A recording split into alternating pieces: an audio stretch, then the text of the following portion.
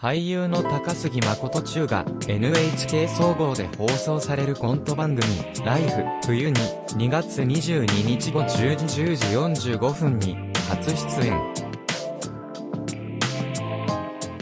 めちゃくちゃ緊張したけど気持ちよかったです。と収録後に取材に応じた。